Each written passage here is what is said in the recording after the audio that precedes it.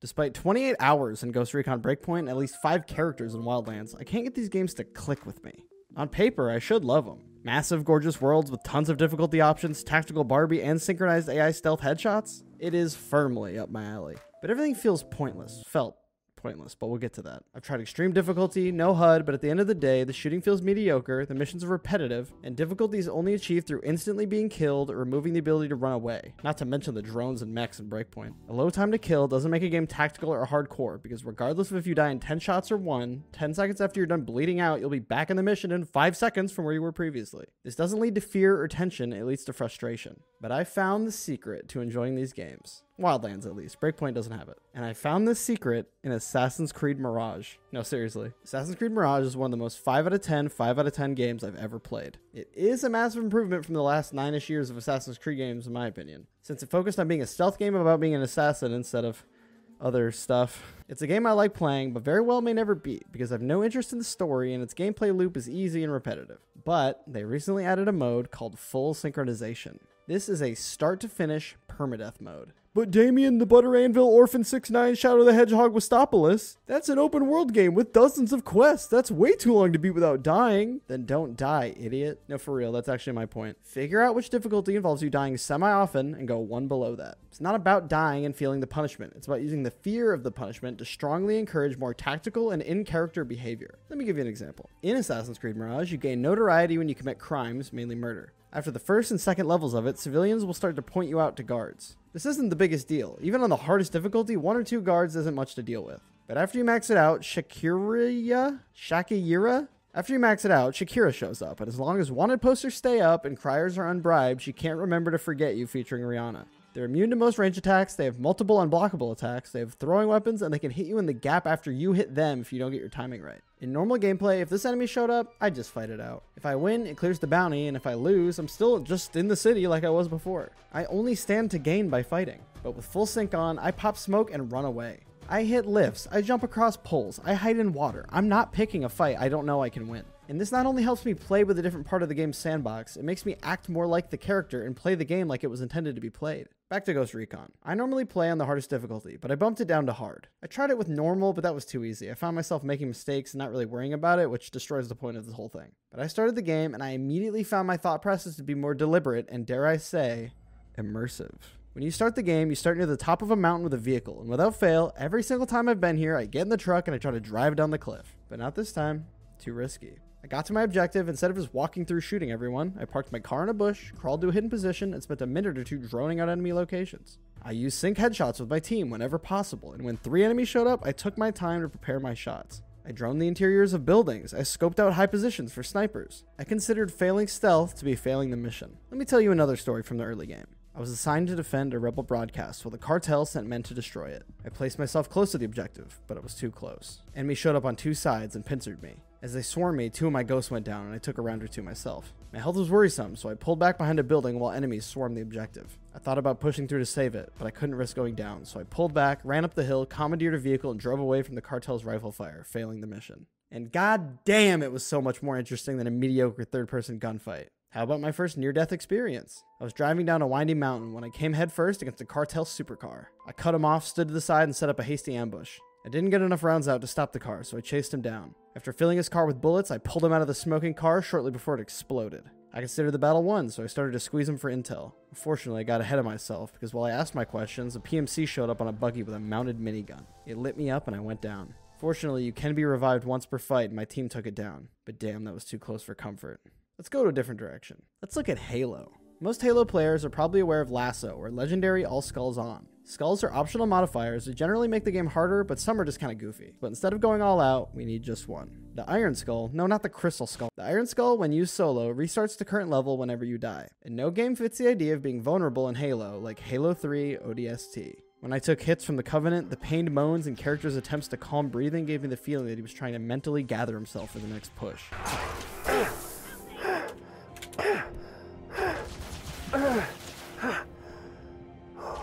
When I'm worried about them dying too, it really enhances the fantasy of what's happening on my screen. Even little things like the weightiness of crouched movement help the experience feel more grounded than other Halo games. Like before, I didn't go all the way to Legendary. I went with Heroic, and in my city exploration missions especially, I found myself counting targets and preparing my position before engagements. Brutes got treated like major threats and became priority targets. My first death was to hunters on the second level, and when I got to that part again, I discovered that you can avoid them and just go around to continue the mission. I've played this game for 10 years and never done that. This idea wasn't as drastic in Halo, generally you're trying not to die anyway, but I was definitely more invested in surviving, and it helped me appreciate the world a lot more.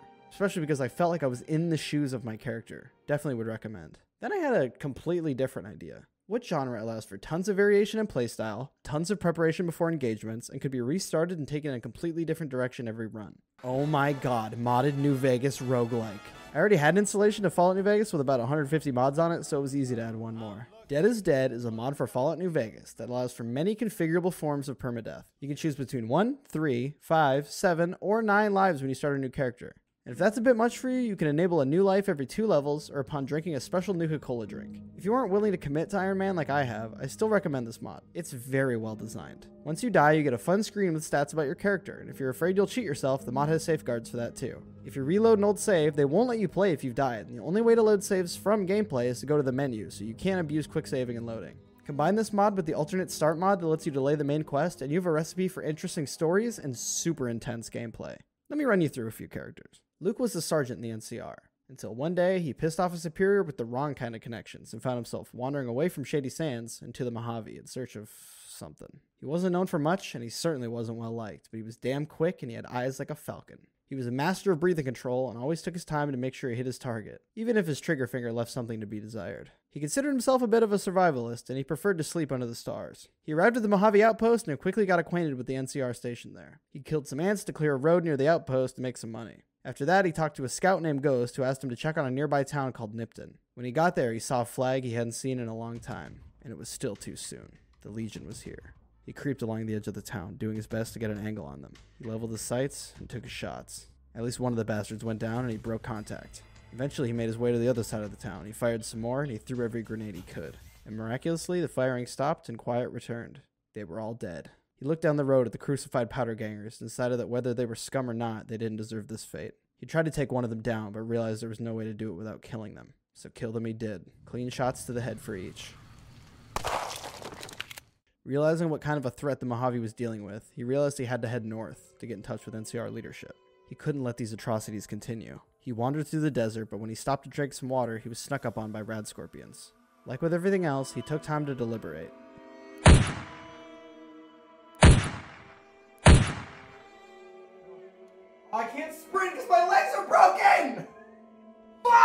Because of it, he wasn't fast enough.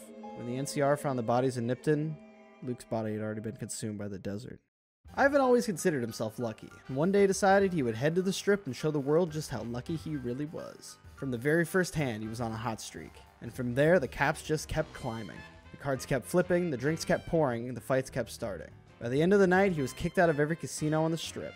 When he awoke in Freeside, all he had on him was a 9mm Browning, a few stim packs, and a key to his room in the Ultra-Luxe. But the way he saw it, his luck hadn't run out yet. He sold the stims for a gulp of whiskey and about 17 poker chips. By the time he was politely asked not to gamble at the Atomic Wrangler anymore, he had a few thousand caps to his name, enough to pass a credit check back into Vegas. On his way to the Ultra-Luxe, someone sold him a 22. He figured some security inside couldn't hurt, and they finally got inside to catch some sleep and plan his next move. On his way out the door in the morning, he overheard a rancher named Heck Gunderson complaining about his missing son. Apparently, he went missing at the casino, and Ivan decided he might be able to play both sides. He agreed to help look for the boy, but figured at this exact moment he knew where Gunderson was, which meant his hotel room would be empty. But if Ivan was truly lucky, he never would have come back to the strip. Gunderson didn't bring one bodyguard, he brought one with him and left two in the hotel room. His pea shooter was no match for their shotguns, and after just a few blasts, his luck ran out.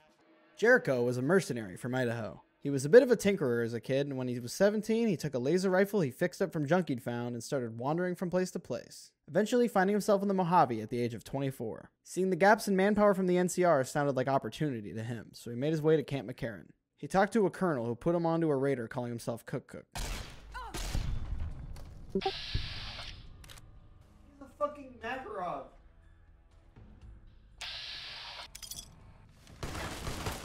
Fuck that. Nope nope, nope, nope, nope, nope, nope, nope. Yeah, I need to. I need to go around. There's no fucking shot. if I go in that door again, I'm fucked. That's too many guns. There's no, no, no, no, no, no way.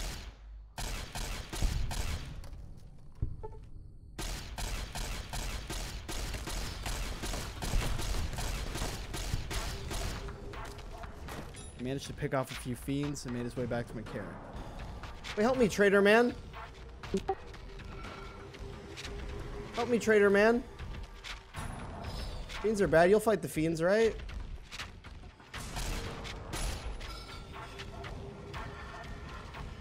Right? Robot? Robot? Ow. Yes! Help. Help. Oh shit! Oh fuck! they murdered the salesman guy. Help me, robot! Yes!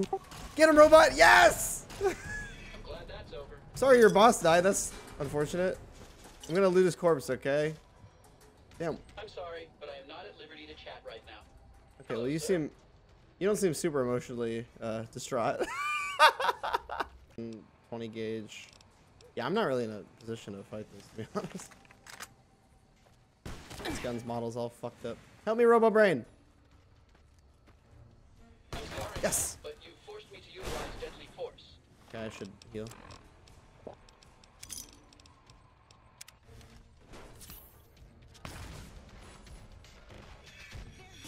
Fuck him up. If the robot dies, I'm just gonna run. The cook is dangerously close.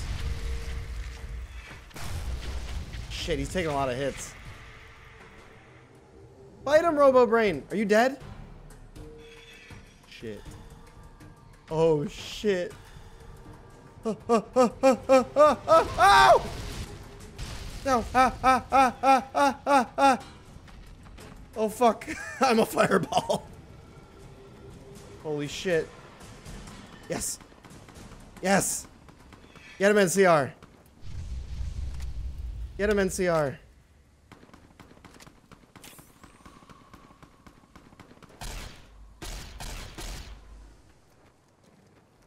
Oh. Oh shit. Wake up! Everyone wake up! Please. If I talk to them, they'll wake up. Guys, wake up, wake up, wake up, wake up, wake up, wake up, wake up, wake up, wake up!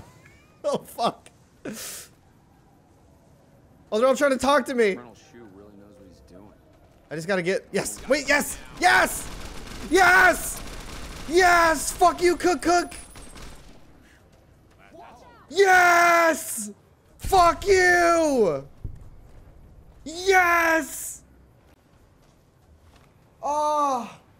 That's so much more fun than any fucking fight ever could be in normal Fallout.